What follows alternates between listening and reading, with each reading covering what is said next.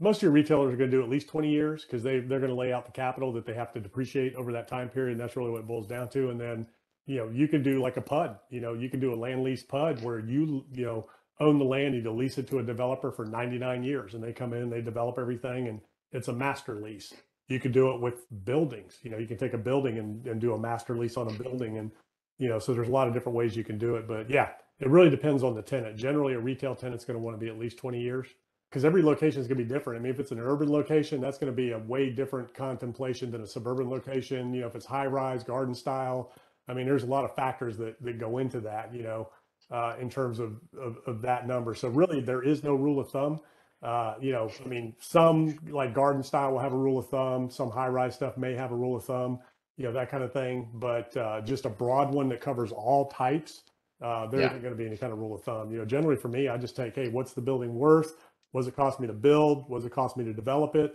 That leaves me, you know, a, a basis in the land. And then I back out a margin for a profit, and that gives me a raw land. It doesn't. It's all the same. So some markets the they just look at it that way. Some look at it by the acre. You know, depending on the type of land where it is. Like industrial, a lot of times they use square foot numbers uh, versus acreage. Uh, okay. Some people just use pad numbers. Some use per door. Uh, it's just it's kind of all over the map. When you're in rural rural locations, the people that just do land flipping, uh, you know, yeah. just the wholesale land flipping and they're going after rural parcels, you know, 20, 30, 50 miles outside the city center. A lot of times they'll, they'll look at, you know, either depending on the size of the parcel, parcel either square foot or acreage prices. So it all works the same. You're just doing math, yeah. you know, square just foot, calculation. There's so many square foot in an acre. So, you know, it is what right. it is. Yeah. Kind of like leasing, like in industrial, a lot of times they'll, they'll break it down, you know, uh, by the square foot, you know, in terms of leases versus, you know, uh, different different ways of doing it. You know, it's it's really interesting. Yeah. So you know, every again, every market's going to be different. So you just re- really need to understand your market, what the demands are. But generally, recession proof, recession resistant assets in in the world of real estate are going to be housing number one. Everybody's got to have a roof over their head. So there's going to be a demand for that. Uh, the question is, you know, what is that demand? What are people's ability to buy? And what does the, you know, inventory look like in the area? Uh, the next thing is going to be self storage. You know, there's always demand for self storage. They they tend to weather recessions well, and then of course mobile home parks are always good as well. The things that are going to take the biggest hits in a recession are going to be office, commercial, retail, you know, hospitality, those types of things. Because business, you know, a recession by definition is a contraction, you know, in business. But people still need to eat, so grocery stores are going to do well. People still need to go to the doctor, the dentist, and really, we had a really good experiment with the pandemic because you found out what's a real essential business you know, who stays open in the worst possible scenario.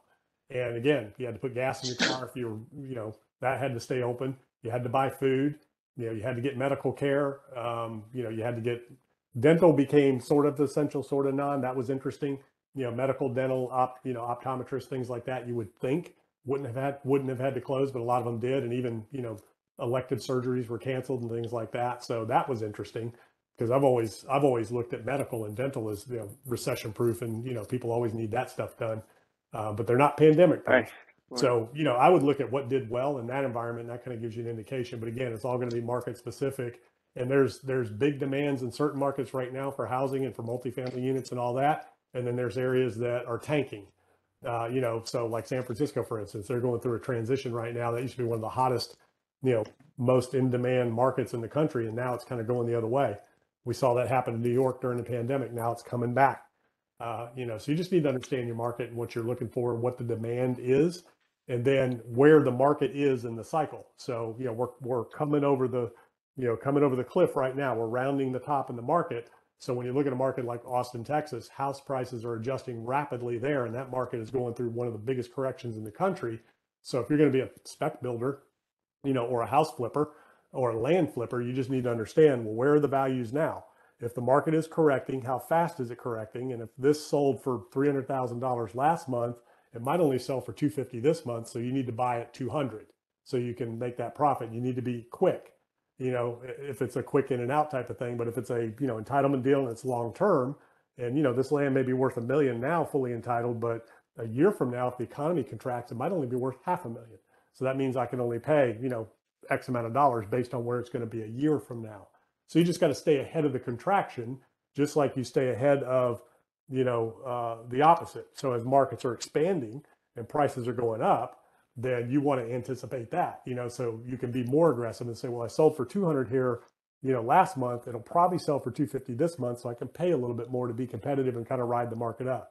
So you just want to make sure you pay attention to, you know, properties for sale, how long they've been for sale, you know, what's under contract, how long they, how long were they on the market, and what are properties selling for, you know, asking price to sale price, you know, what's that discount or what's that premium, you know, above or below. So those are the things that you really have to be in tune with as as an expert in this business. You just need to know those things in your market or markets, you know, without having to look at anything. You just got to constantly be, you know, keeping yourself up to date with that.